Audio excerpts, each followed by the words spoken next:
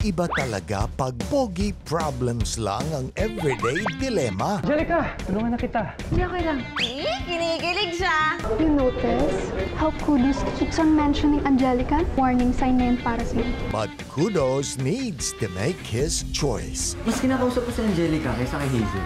Ano to? Para saan yan? Galing kay Trin. before he loses the chance to do so. Ready ka ba na ma-break yung bro code ni Train? Love is love at first read.